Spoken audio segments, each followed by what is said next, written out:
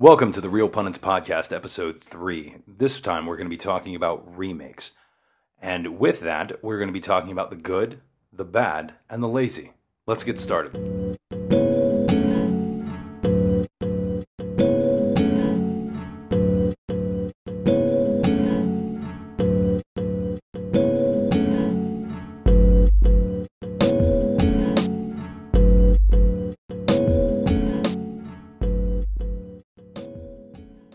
Once again, this is the Reel Pundits Podcast, episode three. We are talking about remakes. My name is Brandon, and with me, as always, is Alex. What's happening? What's going on, Alex? How was your week? Uh, another week and two episodes in one week. Yeah. We're moving forward on We are uh, we are working. Yeah, we're now Putting in officially work, working. yeah. putting in that work. It's, it's not starting to it's not starting to feel like work yet. So that's uh No, no, definitely not feeling like work, but this is definitely putting in a little bit more extra time because this week we did a little bit more uh, background work, a little more research. Spending a little bit of time doing that. well since we just talked a few days ago and did the uh, episode on the Oscars, Yeah, we'll skip all the how, what'd you do this week? uh, basically it was the The episode on the Oscars. episode on the Oscars and watching a couple of new trailers here and there, but nothing really of, of note. Um, I also saw that Wrinkle in Time. Ooh, not getting a lot of good publicity so far, well, you know, it happens. but people are seeing it though to be able to make comments. So that to me already is a better start than most. I've been so busy. All I've been able to do is watch little clips on YouTube. I got into a um, got into a little um, thing last night where I spent like two hours watching just clips of Beyond Scared Straight. Weirdest thing to watch grown men make small children cry. That sounds like a good hobby. There should be a movie about it. Oh boy, I can see this going somewhere. This is seriously, just think about it. Right? Okay. Uh, uh, imagine the horror film. Uh huh. teenagers on a scared straight thing. Right? Okay. They're going through with guards. All of a sudden, the prison power goes out. All the doors are shut, and the inmates riot, take over, take hostages, And little kids are there. and and children are there. Children. Children, like Okay. like you know, ranging same way with Beyond Scared Straight, ranging from like ten to seventeen. Okay. I, I, I'm seeing where this is going, but I mean, you're I mean, it, this is more of a thriller than it is a uh, than it is a horror, but yeah, it could it could be something. At least it's more creative than some of the crap we've seen. In fact, okay. In fact, speaking of a lack of creativity, oh, we're gonna we're gonna go in? we're gonna go jump right into this uh, this episode. Uh, so the first thing I want to do with discussion of remakes is talk about the remakes I like. Well, but I think before we even get into the, the remakes we like or we don't like, let's get into the concepts of what we're talking about. We're talking about remakes, remasterings, uh, Revisits. revisits, reimaginations, rehashings, all the re's that you could possibly come up with. Where do you stand on remakes, first of all? I know where I stand on remakes. I think it's it's really what are you remaking and how are you doing it? to me, it's lazy. See, sometimes I, I have to disagree with you on the There are- lazy side of it because I think that some remakes are needed for the jumps in technology that have been made. I also think that some stories need to be retold in a way that was a little bit more refined than it was the original time. Perfect example, one of the ones I know we're going to jump into Evil Dead. Ah, see, that is a remake I enjoyed. I enjoyed not because it was a it was a good film. It I was did- it- both it- of them. It, it was it was okay. There was there was magic in the first film.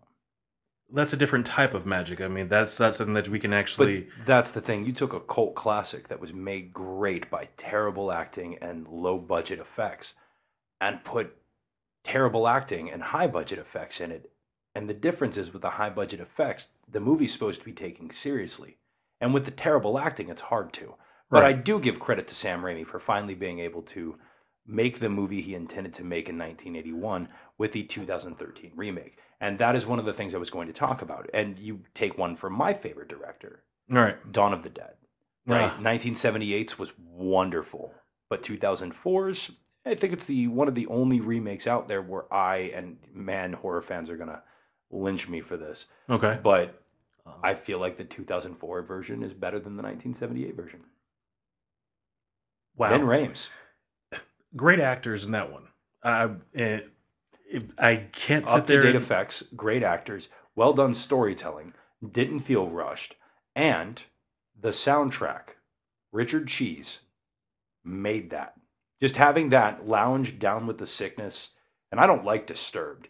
So the fact that they improved a terrible song by making it awesome. I think it was a definite improvement.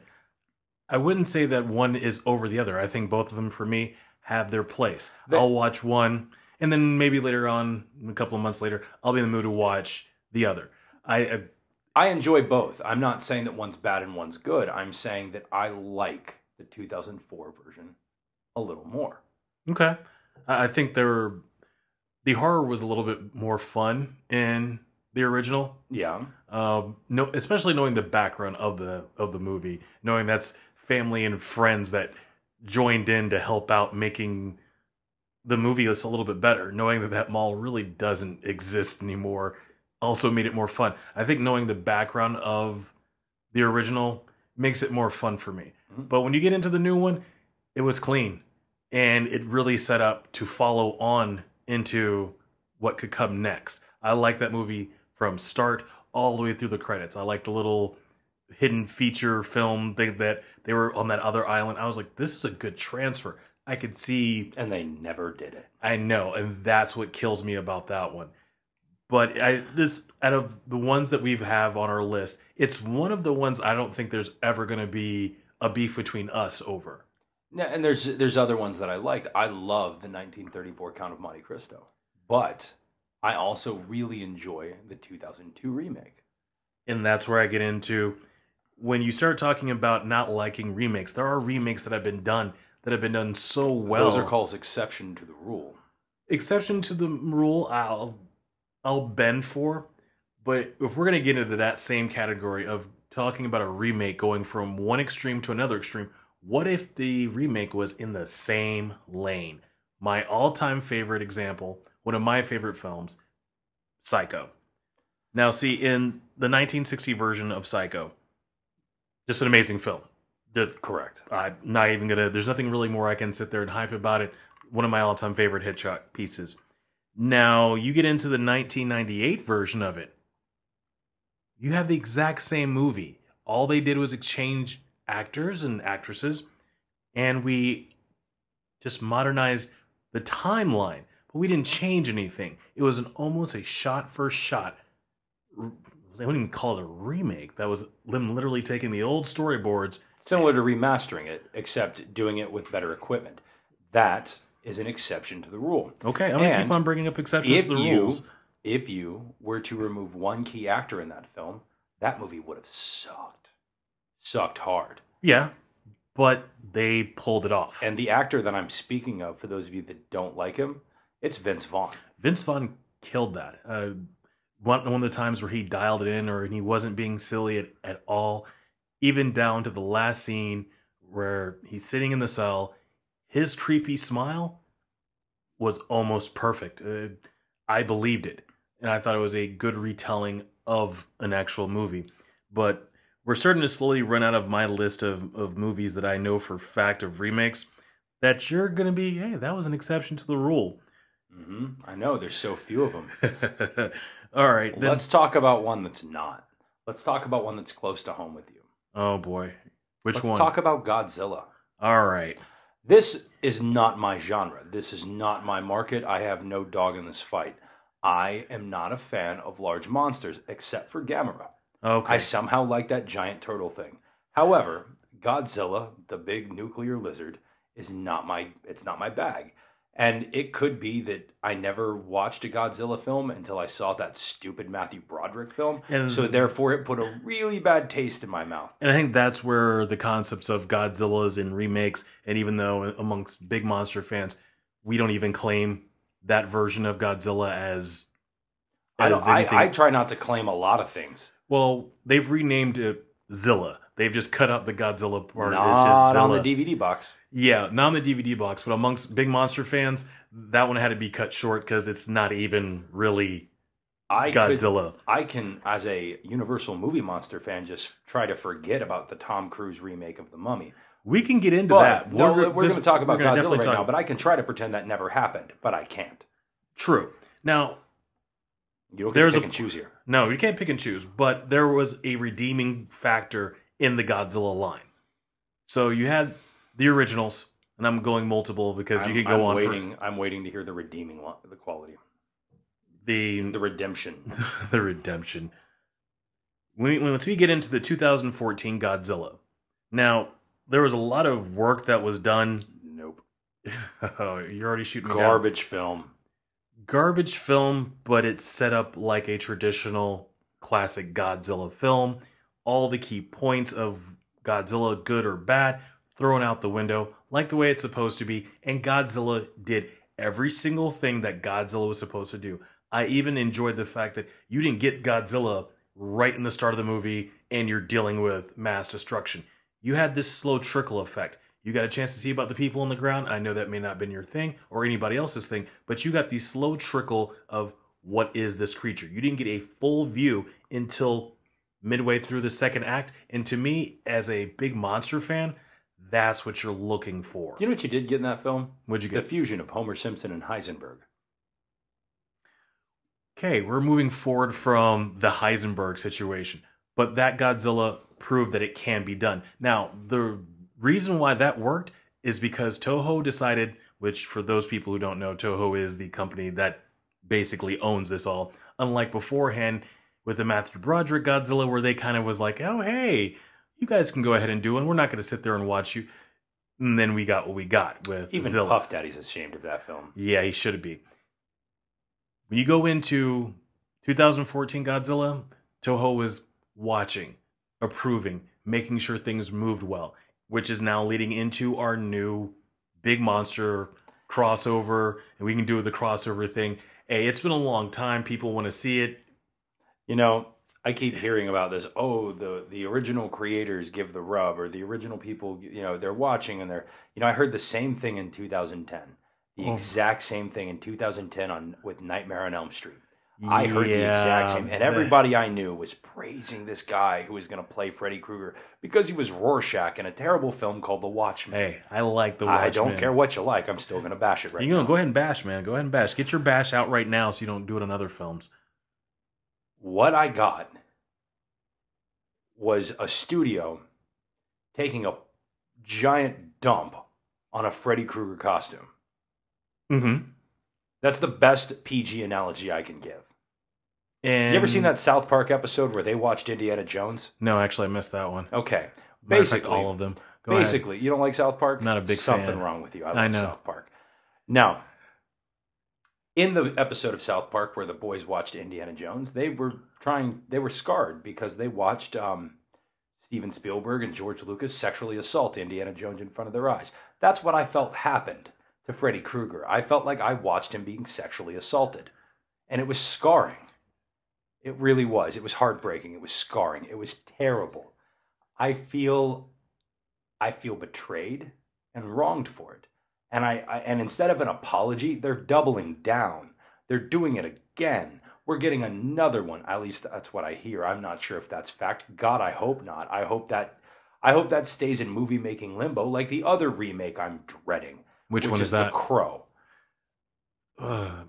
I, I don't care if it's Jason Momoa or any other. You could tell me. I want to see how they're going to do it. You I could mean, tell me that they're going to put Gary Oldman as the Crow, as the main guy, and I'm still going to tell you that it's that is it's disrespectful to the memory of Brandon Lee. Remake City of Angels, please God, remake Wicked, Wicked Prayer. Like just get rid of it. Get rid of every other. Get rid of Salvation, Stairway to Heaven, every Crow sequel there is, but leave the original alone. A, Mhm. a man died making that film. true.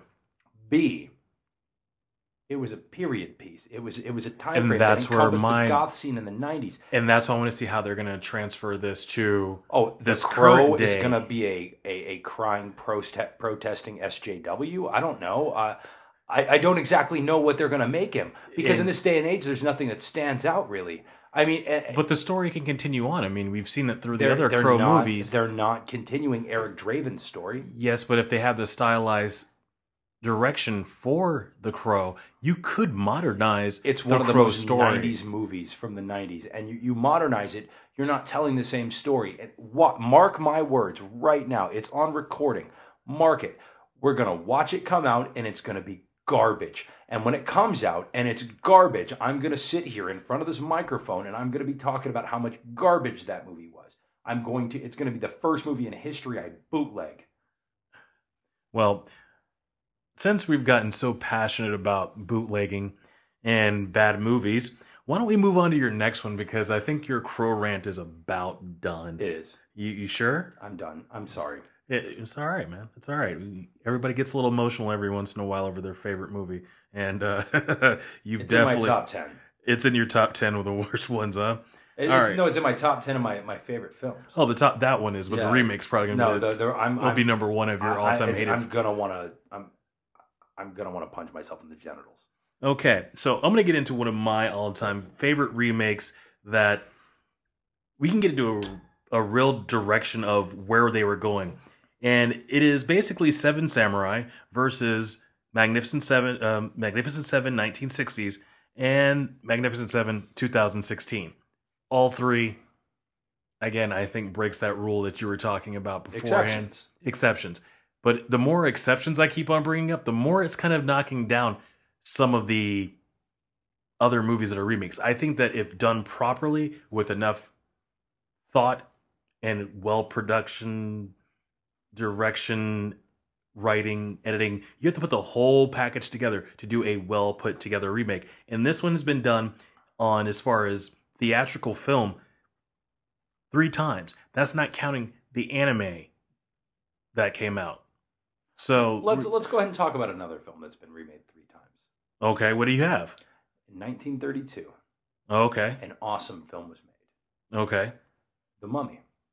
In 1999, Again, they made fun of it, starring Brendan Fraser. I still thought that was a good mummy movie. Now, I'm not talking about any of the sequels that came out with it. I'm just talking about strictly the first one. I didn't think they were making fun of it. I thought they just made a I lighthearted was version. bad. I thought it was bad until I watched 2017 and wish that movie was just them remastering the 1999 version.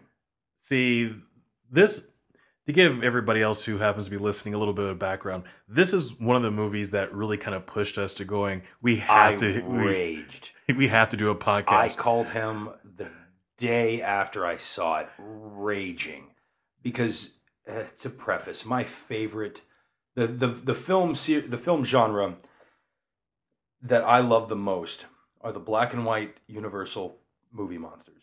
I love Dracula, Frankenstein, Mummy, Wolfman, Creature, eh, Oh, you forgot your bride, man. uh, Bride. Thank you. I mean, if you're gonna name almost all of them, you might as well go ahead and do I it. I didn't forget. I, I'm trying to slow down my train of thought before I rage out again thinking about. Oh, no, no more rage. You already had your one rage for I did. I, I, You- you wasted have- it on that. We're on a we're on a subject matter that's going to cause me to rage a few times. Okay, let's. Um, that's my it's my favorite thing. Those movies made me love film. Those movies made me love movies. My favorite movie of all time is is Frankenstein. It's it's my fa- it's my favorite literary work.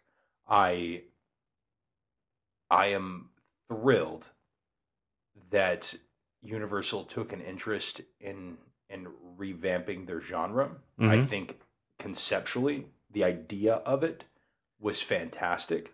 I think the execution of it was poor.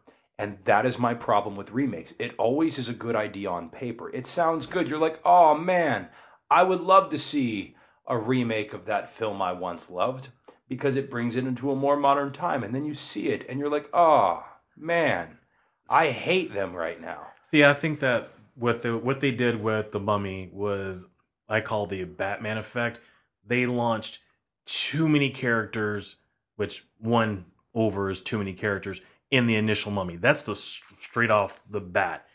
Well, you could have called it anything else other than the Mummy. You could have just called it the Dark Universe. Literally, have it be the introduction movie to the Dark Universe, It would have made a little and bit then more just have have the Mummy in it without You know, and because there was nothing Yeah. wrong. It was the Dr. Jekyll, Mr. Hyde part that pushed it for me, and I'm You know, that was the most. That was what I was most intrigued to see is how they were going to do that. and they did it horribly in Oh. my personal opinion. It's the only time I could ask Russell Crowe, "What the hell is wrong with you?" And that was my only. That's the only movie I could say that Russell Crowe go. Uh, you really. Dro-. I mean, he hasn't done a lot of good movies, but he's done well in them. This is the first time he was in a, in my opinion, that he was in a bad movie and did poorly. And it was all the way around. There were some cool concepts. Uh, there were some amazing scenes that were in there. If you under, if you, the audience, understood how much I dislike Tom Cruise, for me saying that Tom Cruise is the most enjoyable part of the Mummy is a big step because I really dislike him as an actor. I did not appreciate the fact that we got another iconic Tom Cruise running scene. Oh, that's part of that's part I of his think- entire I like his think- docket comes in with He's got to show how much cardio he's got. I get can it. you run? And if he can get a motorcycle scene in there, he's definitely going to add it in there. That's kind of like you know. the only thing one, I was can fit it. disappointed in is I was hoping that somewhere there was a couch he was going to jump up and down on because that is my favorite Tom Cruise moment. All right, so getting back to the Mummy. Right. Listen. So okay. if It's been if remade multiple times. It's been re- remade multiple times. You not a huge fan of the second one, but I still think it is- still has its place. I think the part that destroyed I was happy this- for Brendan Fraser to get work. And I thought the first one He's was my favorite caveman. oh boy, that's a different day for another movie. Are we going to do a podcast about Pauly Shore films? You know, we could do that, but it'll be my day to have the nerd rage because I really think all those movies were a waste of film. As long as we can include some John, well, some early John Leguizamo work. okay, I'm down to talk about the past or. Uh, Uh, you want to talk about John Leguizamo? Oh, I love that guy. He's one of my all-time favorites. John Leguizamo is, is, is, is, is great, man, but some of his choices. Uh, What? You're not you're not a big fan of the Violator? I another, thought it was another thing that I was so excited to see, and I there I hear they're remaking it. to this day I still think is one of the best comic book movies, but that's for another podcast. I viewed it as a comic book turned cartoon turned movie, kind of like the Transformers. It is better than the Transformers, though. okay, everything the, you're not saying the bar really any on But that when one. when John Leguizamo is the as the Violator Violator. is better than any movie starring Optimus Prime, you know there's a problem about the movie starring Optimus Prime because everybody should be excited about seeing a giant robot truck fighting other giant robots, but you're not. I hear of another Transformers movie coming out, and I just want to go to bed. Okay, then. So back to the mummy. We're gonna actually finish this out. Okay. What minus the fact that it wasn't done right, did they lose the feel of the mummy? Is the Yeah. big question that I have for you. Listen, the one of the big things that horror back in the day did was it, it gave you a reason to imagine. It never showed the death. It never showed. It, wasn't filled with jump scares and this convoluted plot twist. It was just monsters versus humans, or humans versus monsters. Or the monster inside of man himself. Yeah, well, that's the mo- humans versus monsters, Mm. and the, the using Frankenstein as the the humans were the evil in that film. Mm. but there is something you get there's something you can't recreate from old horror they they they pushed boundaries they should like some of them pushed boundaries some of them some of them just hel- upheld the status quo with phenomenal actors i mean it's the reason i have a problem with people remaking vincent price films the quality of that man's acting Okay. over uh, trumps everything any other actor could possibly do minus christopher lee or Now, bela if- lugosi if we're gonna or go Boris into Karloff if we're gonna go into this, we might as well jump into or it, Chaney Jr. or any of the other actors I could possibly continue naming right now. which I bet you were- could for a while. So in that same arena, if we're gonna jump into the, you brought up Vincent Price. I have to talk about one of my favorite movies. You're going to talk about The Fly, aren't you? Yes, yes, yes, I am. Okay, Now, so it's- it's it's a, it's an exception to my golden rule because it has Jeff Goldblum in it. Okay, but the 1958 version starred your boy Vincent Price. Vincent I Price. know.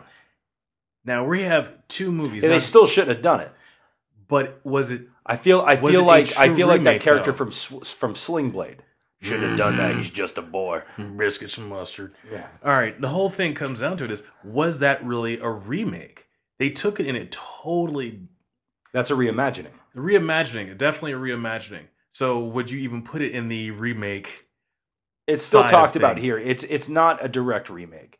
It's not a remastering like the remake of Psycho was. It's still included in the remake category because it is a movie that was based off of a former film. But it is in the reimagining. It's it's like um I guess you can say that with the uh, the second Mummy and the third Mummy. They're reimaginings. They're, Oh, yeah, they're- definitely. They're, de- they're not the same story, and the fog just happened to be done well. Or Not Mm. the fog, the the fly. we can get into the into that. the fog also. is the, the fog is probably my most hated remake in history. Uh, there's ones are way worse. Well, here's why the fo- I hate the fog the most. So when I was a little kid and watched The Fly, hmm it was one of the first horror movies I actually like. You're talking about the 58 one. I'm talking the the fog, not the Oh, fog. you're the talking fog. about the, I've, moved on. Okay. Oh, you've moved on. Yeah. I want to get back to the fly. We'll get back to the fly, but I just mentioned why. Like I, I, I screwed up and said the fog because I was thinking about the fog, and I mentioned that the fog is my most hated film that's been remade. Uh, then the fog scared me as a small child. It actually terrified me, mostly because there's always fog out. You know, it's it's just something I don't know why. I watched The Gate first. Didn't scare me as bad. That's a I classic. I don't though. know why the fog scared me so much. But in 2005, when the movie came out, I saw it because I was excited to see the remake because it was the only movie that I remember being truly afraid of. And then I watched it and I thought of myself as the dumbest person alive because I can't be afraid of a movie like this. And then I watched the original and I hate the original too. Okay. And not because the original's a bad film, but because I hate the 2005 version so much, it made me hate the original. Because it made me feel stupid for being afraid of the original when I was a kid. And I was a little kid. So, you know, little kids are afraid of random crap. It was so bad that I hate a movie that actually caused me to want to watch other horror films to see if I could chase that fear.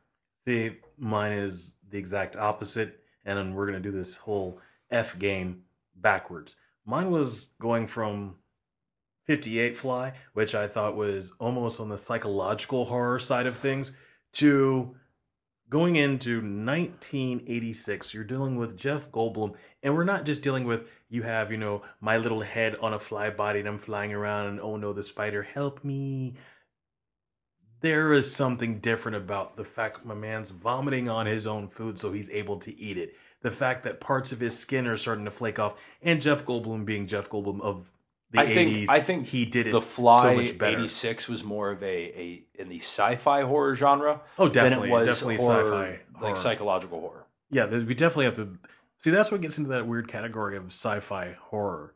I just have to bring it up for a minute because that's its own weird category that sometimes really isn't traditional horror because it's so sci-fi If you go to cer- if you, when Movie Stop was still around, if you went to there, sci-fi and horror were put in the same category. category because there's some things that are just it's it, they're geek films. Most people that love horror are are horror geeks, yeah and of course we know sci-fi fans are generally sci-fi, sci-fi fans. But then you also have those great movie crossovers. Uh, Event Horizon is the one that comes to mind, where it's a little bit of both. Yeah, Because I, I don't consider Event Horizon a horror movie, nor do I consider it sci-fi. Though I mean, Do you know what? You know what crossover I hated? Hmm. Jason X. And Leprechaun in Space. I didn't like that either. there's I liked Leprechaun in Space more than I like Jason X.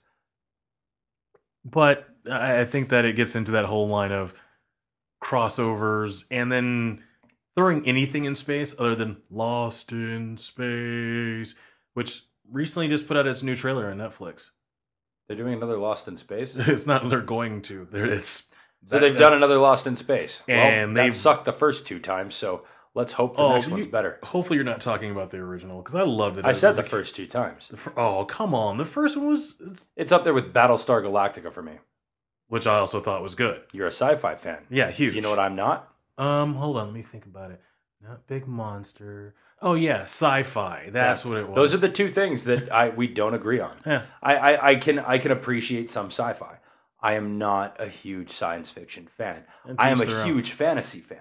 Give me sword and shield and elves and dwarves any day, and I'm excited to see it. Of course. Uh, unless it stars Charlie Hunnam with the magical sword. Yep, But- we- that that was, last, people- was- that's two two times three times now in a row. you- We have to make a, we have to make a, a no talking of of, of of King, Arthur. in this room. Okay. Um, now he's it's forever dead. So but I'm just not a sci-fi fan. It's it's nothing nothing No, no. against it. I'm sure it's a great. I'm sure it's great. I'm sure that it is for the people that like it. It it's going to be awesome. I, I hope. I want to wait and see. This there are sometimes when a movie comes out or uh, whatever, you know, however you want to put it, a release comes out, you go, this could be good or this could be really, really bad. And talking about movies that start off really good and end up really, really bad, let's go ahead and talk about House of Wax. Let, Mm. let's just get this out of the way right now. I already talked about it. Well, about I'll talk about it again. House of Wax, the original 1953, amazing film. That's all I want to hear you say, because then I don't want you House you- of Wax, Don't don't. starring Paris Hilton. Uh. Only movie I've ever walked out on on theaters. We've already talked about it. It sucked. It was cool to watch Paris Hilton die. Yeah, Yep. was that was uh, not that I wish any harm on that woman. I just I feel like now she's been impaled in two mediums. Okay, but but but but we're moving on to something else. Wow. All right. The Blob, one of my all-time favorites, and there rumor has it, and Samuel L. Jackson will be in, involved. I hope he voices it. you just hope that he's involved in some way. I just or- hope he voices the blob. I'm hoping that The Blob it's Samuel no Jackson. I, but, but I'm saying I'm hoping that's what he brings to the table. That he is just the voice of the blob, and as he is as he is swallowing people, he just keeps saying, you know, like his normal phrases. yeah. And I hope they burn in hell. I'm just I'm hoping that's what happens because other than that, I can't see it being any good. this is one of those moments where I go, every time it's been done, jumping from the very first one, 1958. technology is what made it work better. Because one of my, I love the 1988 version, not for the acting. The acting is, well, it's 1980s movie. It's on par with that. But what made that movie interesting for me is the main creature. You have the blob, you've improved it. You have the bodies that are still stuck inside of it, slowly being dissolved. When the girl gets surrounded inside of the phone booth, you're seeing faces. Unlike in the original, it was just, you know, black goo just taking over people. This one gives you an idea of there's something inside of this thing that's that's going on and the the fact that some people are still sort of alive. Now, we take that from 1988, which a lot of practical, a lot of old school flubber goo stuff that people put in fake Oh, models man, and stuff Don't in. say flubber. That makes me miss Robin Williams. Oh, okay, I'm sorry. I didn't You know what? You've was- been too positive about this. Oh. As soon as you're done, I've got a movie for you. Oh, you're, oh wow, you're, you're gonna try to bring me to your dark side or I something. am. I'm gonna. I'm gonna. I want to hear him rage out. Okay, but the whole point is we could do some great things with the technology jump for the new blob. But here's the problem: we are way out of the line of doing practical effects nowadays. Everything is so CG. So while I talk really Right. You good, want to see green screen blob and people running on with green screen backgrounds with some with some ball with all the lights on it. Like I, I just want to see the behind the scenes and people trying to keep a straight face. and that's where I'm going to run into how far can we honestly take a new version of the blob? Unless they go into a grouping of people that go, we are old school horror fans. We're going to do this practical. Oh, I know who should they, they should get. They should get Nolan. Okay, He be- only does practical effects. Like if, if That you tell me inter- Christopher Nolan's directing it, I'll forgive him for Interstellar. I'll forgive him for it. I mean, I probably won't, but I'll pretend to. you can at least pretend to, because if that got involved, I think that would be, I would be very. it's one thing I can appreciate about Interstellar. It was done with practical. Right. So let's see exactly where we can go or with the next one because right. uh, you say you have some. All right, let's talk about Halloween. Oh man. Oh. Let's. I'm. I'm. I'm going to shut up here. I'm going to let Alex tell me why. Tell me about Halloween, Alex. Tell me about it. I can, and I can actually be positive about the How? new version of how? I mean, other than the points I give you, take That's- away the points that I've given you. the, other than the points of the getting a chance to see the background of. No, no, I'm not talking about that because we're gonna we're gonna go. I want to hear it. I want to No. hear what uh, your problems with Rob Zombie's version is. He should never have touched it. Period. Straight out the Why straight not? out the gate. Why not? Disservice. I mean the the original one, two, skip three, four, and that's where we're all start. Halloween three. Oh, Halloween three. I can hear that Season of the song Witch, playing uh, into my head right now, though the mask. It's the pumpkin. But he should never have touched it. He added his own grittiness that he used in Devil's Rejects and House of a Thousand Corpses. Corpse? Corpses. Corpse Eye. Corpse Eye. I don't know. Either way, he used that same grittiness for a movie that should have been about a guy that was almost magical. That's what you get with him. He's You know that was the one thing I loved about um, Michael Myers, though, is that he wasn't magical. He, he wasn't. He, He wasn't, wasn't- dead. He wasn't some demon. He wasn't a, But a jinn. Though I love love Wishmaster. Um, he wasn't any of those things. He was just a crazy dude. He was a crazy dude, but if you look at some of the scenes out of the original, coming down off of the of a rafter with one arm and hitting the floor with no one hearing you, that's a big guy. I'm sorry.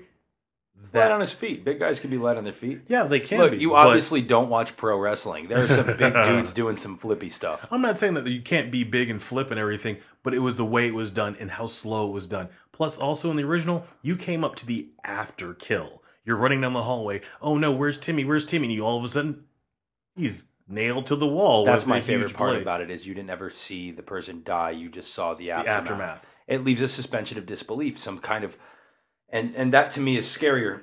Than actually having The jump scare, like the oh, I get to see the knife go through the face. That to me, that's where I start going into it. I know there's probably a huge grouping of horror fans like, no, the Rob Zombie one was really good. Hey, I'm glad you feel that way. My biggest problem was He's glad it- you feel that way. I'm going to tell you straight up, you're wrong. Eh, I was hoping for more rage, but I'll I'm not going to rage. Let I'm me. not, I'm not going to rage. I'm not going to rage for one reason. Everybody has their own or their own thought, their own opinion to sit there and like the films they're going to like. At least we're having a chance to talk about it. Am I a fan of the Rob Zombie Halloween one and two? No. I, will say my piece about Rob Zombie. Then. Say your piece about Rob Zombie. the only think- movie he has made that I have enjoyed thus far has been Devil's Rejects. House of a Thousand Corpses was a bag of garbage. It was it was a hot great bag of comedy. I- it was a was the hot bag comedies. of garbage. You cannot tell me this movie that was pushed back and pushed back and pushed back was was too gory and too this and too that, and that's why it kept getting pushed back. And then what we got was a steaming pile of hot garbage. And then we got Devil's Reject, awesome throwback to the '70s grindhouse action film. I loved it. A little bit of a little bit of crazy, you know, serial killer horror Yeah, sprinkles thrown in there, but for the most part, it was a really good grindhouse style action film. Yeah, but Then But see, you're counting House of a Thousand Corpses, Corpse Eye, as traditional horror. no, It- I'm I'm it- counting it as his directorial debut. First impressions are everything, and he did not impress me. So we move on to how we move on to Devil's Rejects. I, I give him a thumbs up. He still has one down. Then we got Halloween, and he missed everything that John Carpenter had had brought to us and made that movie good. The only thing he gave us was a background. The only thing he gave us is a little more insight to that child's mind. which- what he missed was what everything that made Michael Myers scary. At least in the Friday the 13th remake, they took all the things that made Jason beatable and threw him out the window. The movie sucked, but Jason was at least a little more intimidating. I've Oh wait a minute! The kills, the, the kills in the remake of Friday the Thirteenth were, I, I laughed from start to finish. I thought it was one of the greatest comebacks of all time.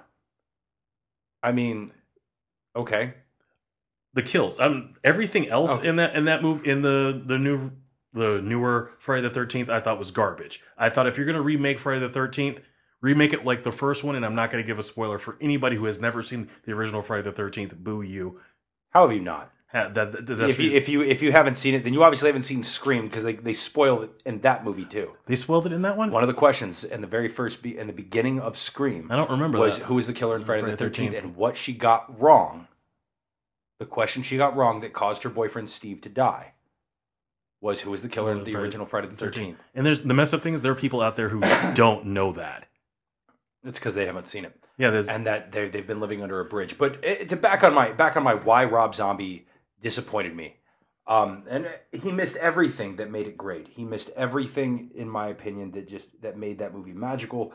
Uh, uh, Rob uh, Rob Zombie's Michael rendition of Michael Myers just reminded me of the guitarist from Slipknot, the giant one with the steel mask. That's all Okay. it reminded me of. Just giant, big, silent guy. Looks like he'd rape you in an alley, but he wasn't methodical serial killer presence. no. You go into Halloween two. I'm not even going to talk about that. I'm not it's, even- It's it's it's, it's- worse than Hall- than the other Halloween.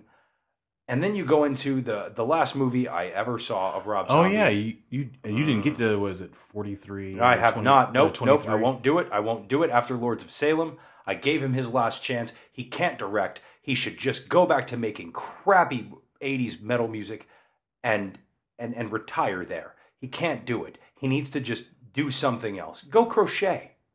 Go crochet little metal metal crochets. Make make some little make some little goth beanies for babies.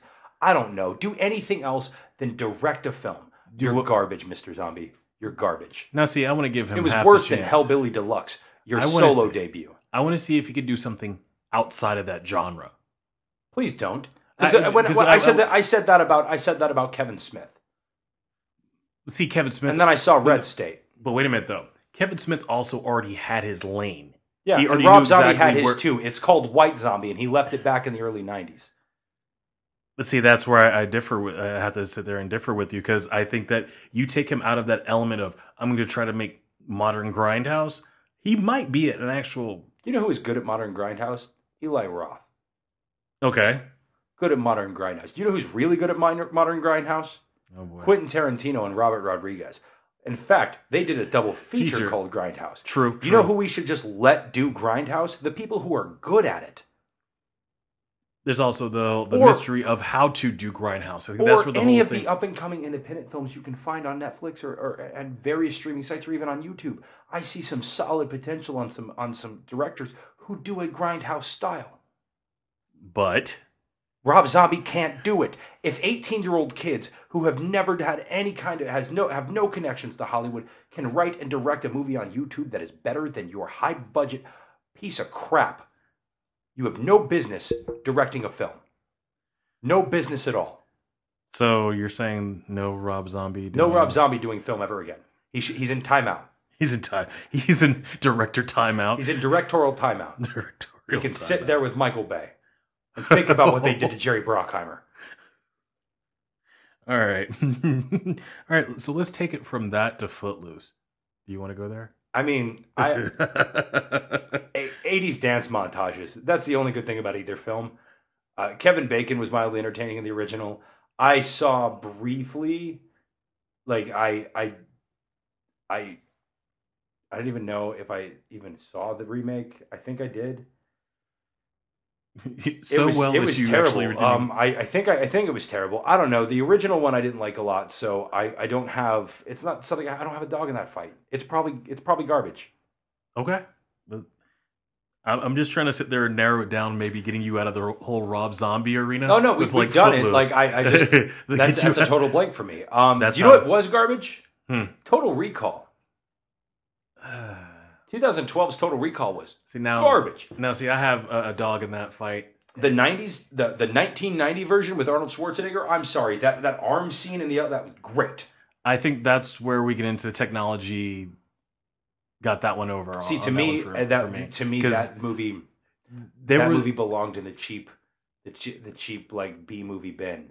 and I think that it had an opportunity to to do something more than what the original content gave us, and improved upon it.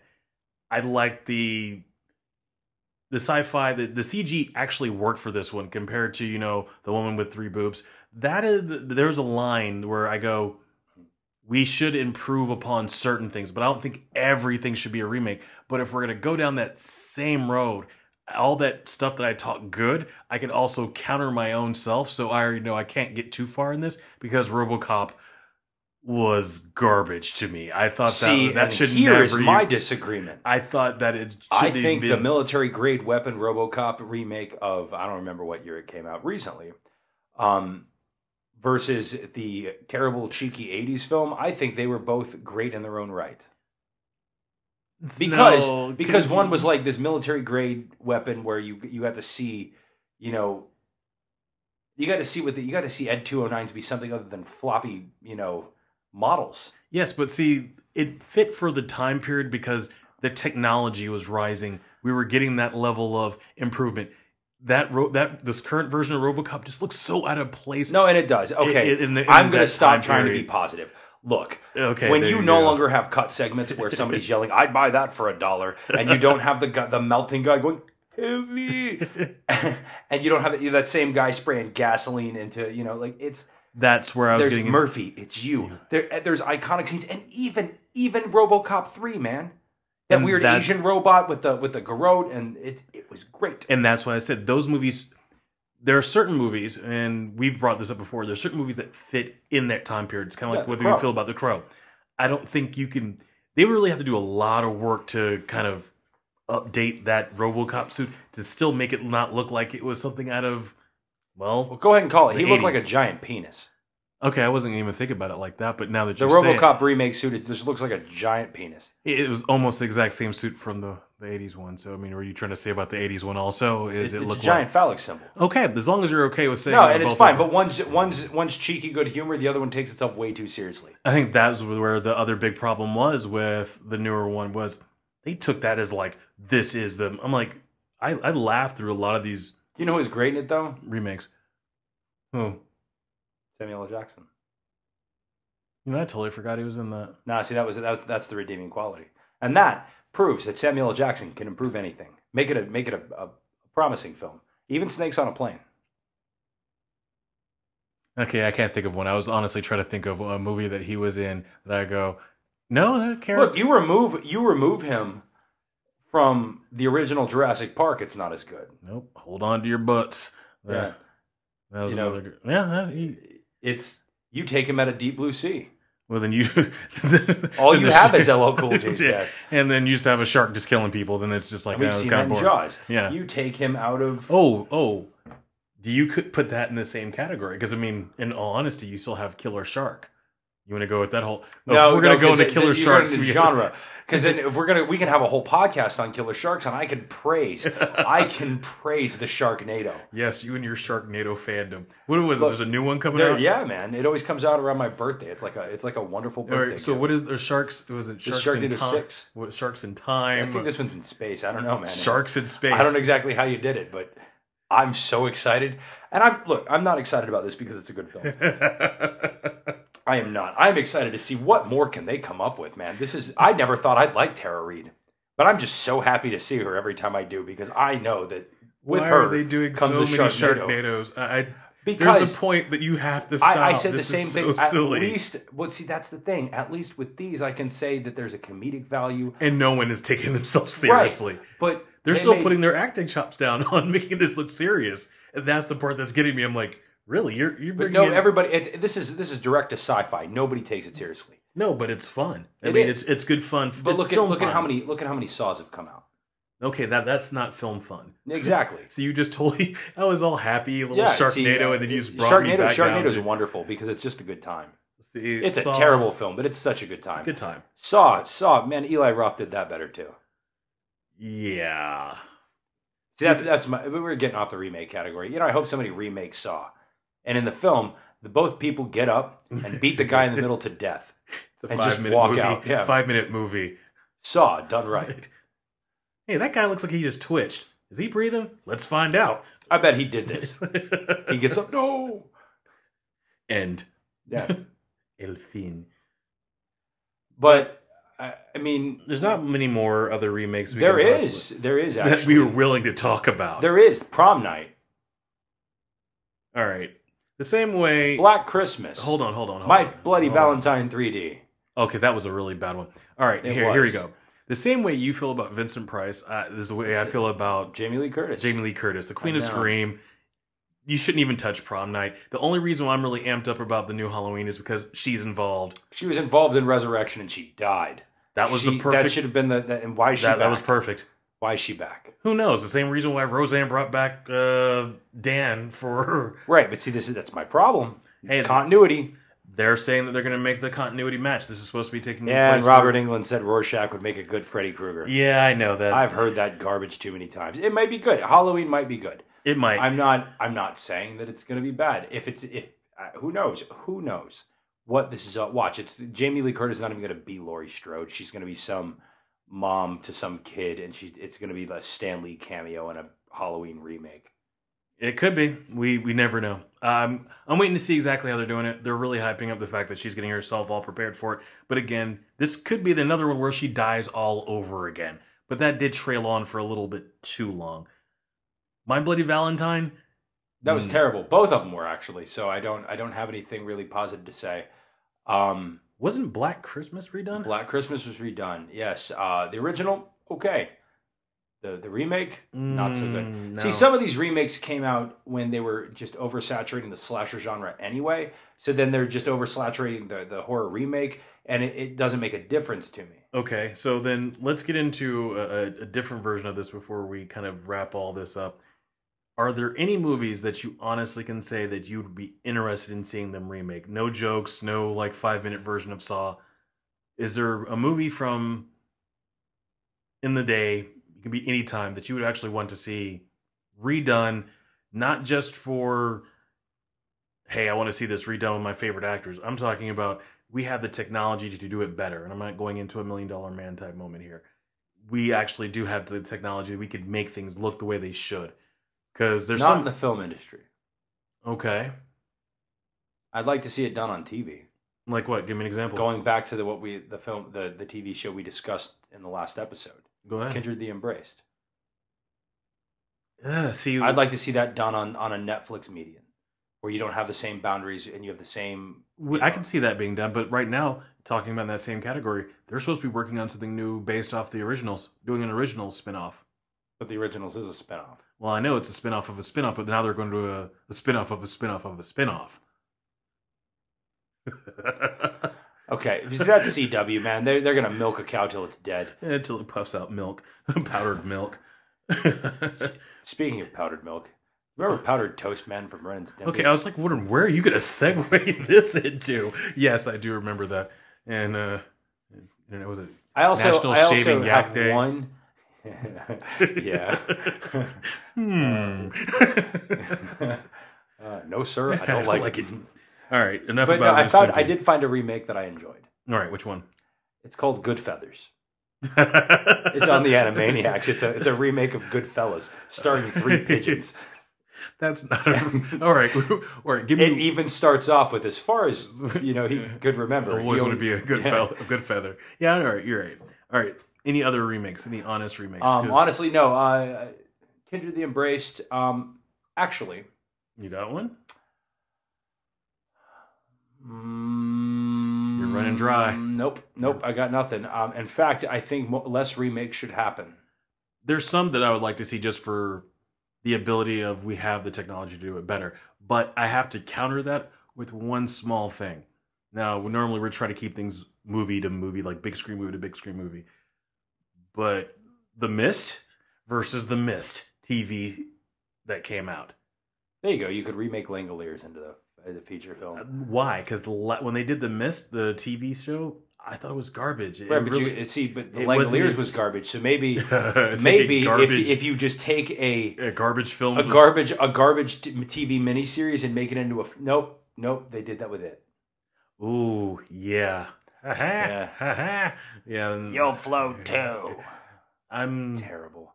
I don't understand. And if anybody, if anybody listening right now actually enjoyed that piece of crap, you I can find me on Twitter at, at Brand Reel Pundit and tweet me. Tell me why you enjoyed it, because I'll tell you you're an idiot.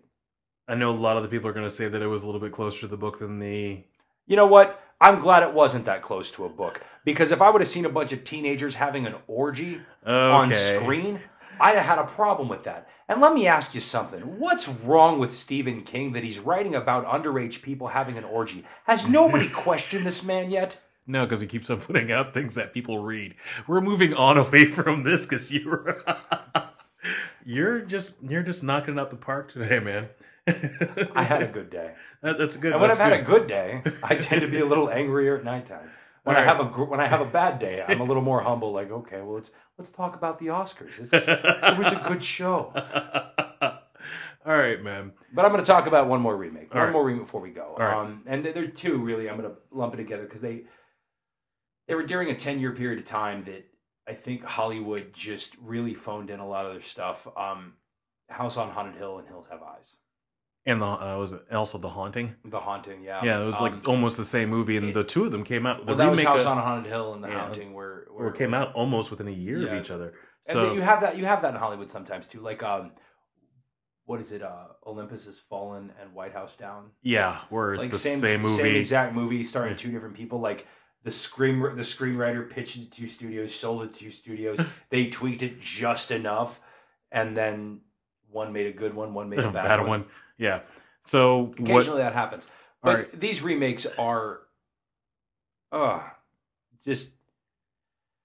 I, I don't even know why. Like, okay, so the House on Haunted Hill was fantastic. It was Yeah. it, the ni- 1959 version was fantastic. Let me let me preface this: the 1959 version of House on Haunted Hill was absolutely fantastic. The 1999 movie, the highlight in it was Catherine Zeta-Jones. Nope, that was the haunting. Oh, was it? Yeah. See, I don't even know because it was all garbage. All right. I'm gonna let you go ahead and have your rant about this, and I'm gonna give you the. I, I've got no rant. I Okay. just want to talk about how much garbage. And then the hills have eyes. Wait a minute. Wait, wait, wait. See, this is where I have to stop you. House on Haunted Hill, The Haunting. They did something for the community that I think is important. When you have a lot of these remakes, it also pushes people because there's going to be one person like us who's like, "Have you seen the original?"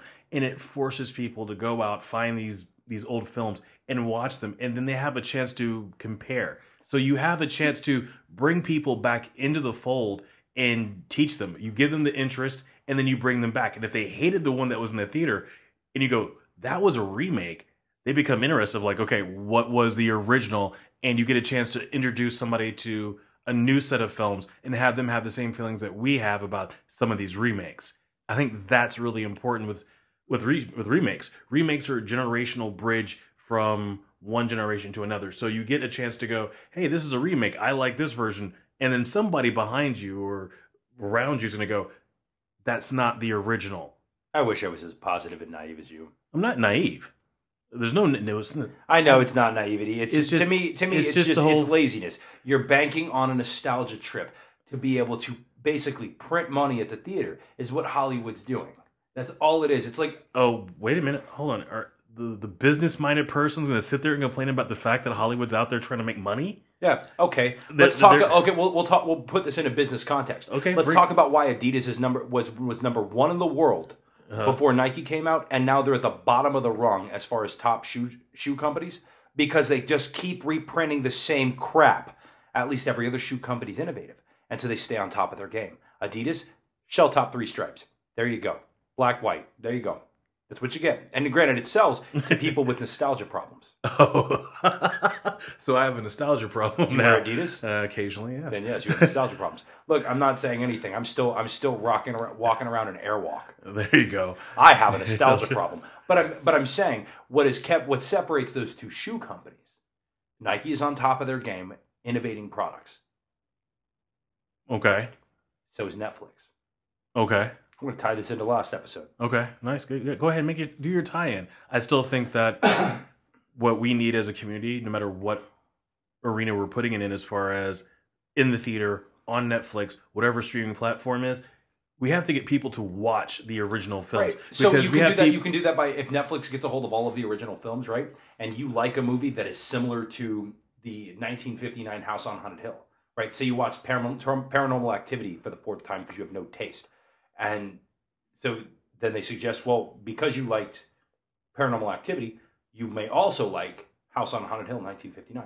Yes, but there's a huge difference between the, the little algorithm they use in Netflix than having one of your friends telling you, hey, if you haven't seen this, here, I'll give you my copy, my Blu ray remastered. So here's some homework for all the film the film heads that are listening to this. Go find somebody you don't know and tell them to watch something. Tell them to watch something old and awesome. There you go. And that's how it starts. That's how film conversation comes up. Because if you've actually seen both versions and you're a huge fan of one of the more current versions, You probably have no taste. Not always. It's a different perspective.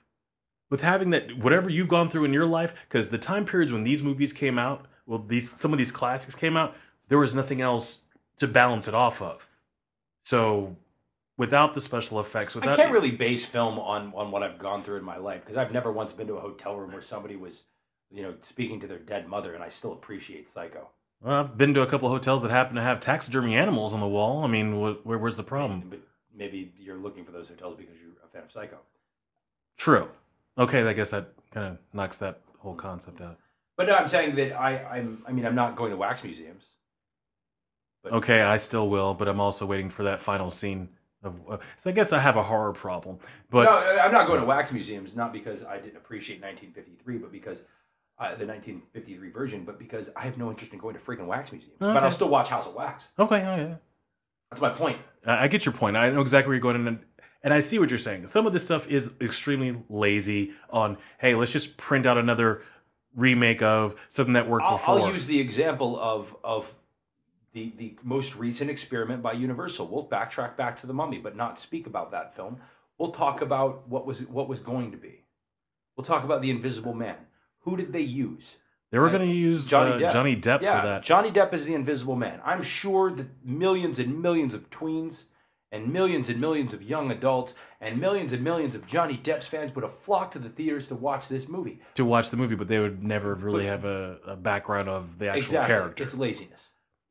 It's it's printing money. It's printing money. We've missed one. what? And I'm going to have to sit there and interrupt this just for a second because we've missed a huge one, even though we're going over time. Dracula. Which one? That's the point. Because the because you were talking about the the Universal monster movies, and it made me think about what started their whole. Technically, it's I- all different stories, same character. And right. none of them, other than the movie with Gary Oldman, Oldman. is actually based on the book itself. right. But you're So- talking about Universal monster movies, and I was thinking about that. You're using the, a, that's the- a, they're, the you're using a character concept more than a story. I'm actually going a totally different way with it. You think if we cap it with the whole Dracula Untold, the way they did that one, do you think they could have done a dark universe based off of that? This Yes. is a question straight Hands off the down, top of my head. Because with the way they were going with it so far, especially with the order that they were going to do it, which is where I had a huge problem with the Universal monster movie. Because they were going to do Bride before they did Frankenstein. If you Which would is have really weird done, to me. if you would have take, if Universal would have taken it from Dracula the Untold, basically telling an origin story of, of a story of a character we all know, Right. and most people wouldn't even have a clue about Vlad Tepes, or you know, In changing it. Because they did they, Yeah. they, they took some creative liberty with that. they did, and then and then having the same actor play Dracula in the new film because you set it up for it at the end, Right.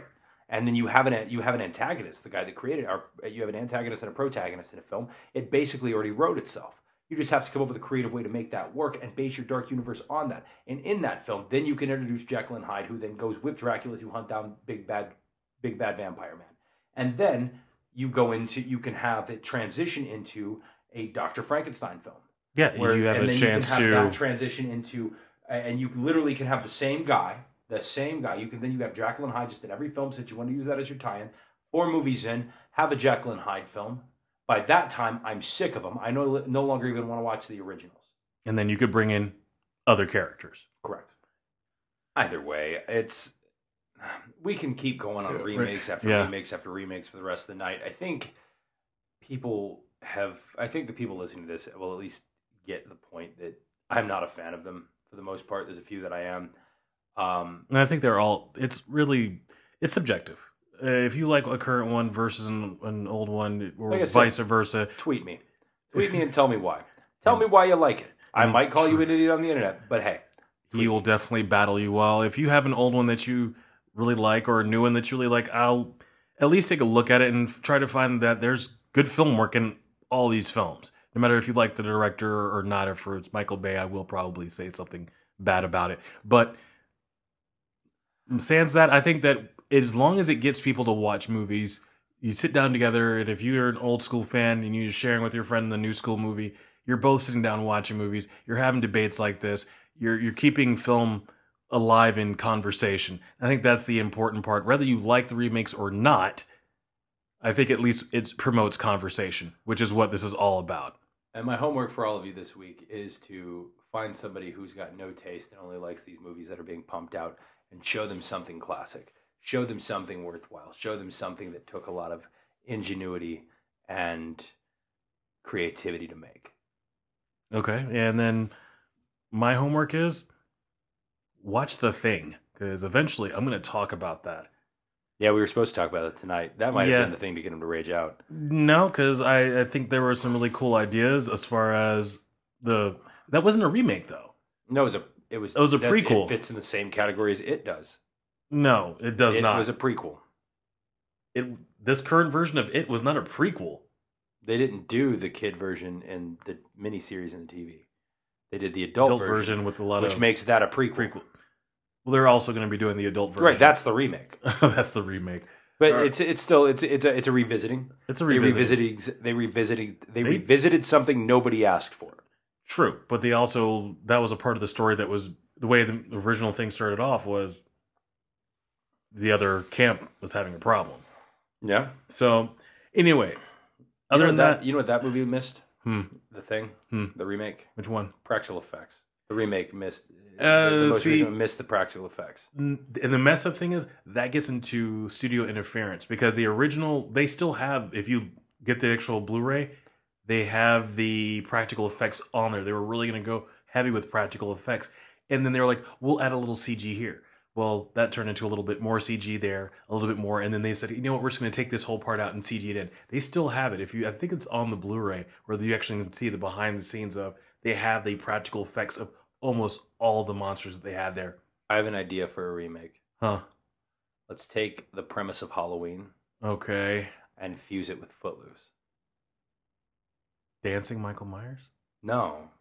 Basically, so a kid moves to a small town in Texas that has well, we'll take Halloween, Uh huh. right? We'll take uh, we'll just take Footloose and a Texas Chainsaw Massacre. Okay, so. A kid moves a kid moves from up north to a small town in Texas Uh huh. where it is forbidden to dance and do anything because it angers the local cannibal family. And on that note, we're going to say goodnight from the Reel Pundits. Yes, sir. We'll talk. We'll see you next time on episode four, where we will be discussing something not remakes. I'm pretty sure we're going to be talking about um, comic books. Yeah, You- that's our comic book episode. You- and by comic books, I mean comic book movies. And Oh, I'm going to talk about how much I hate those two. Is anybody surprised? I doubt mm, it. I doubt it. Have a nice one.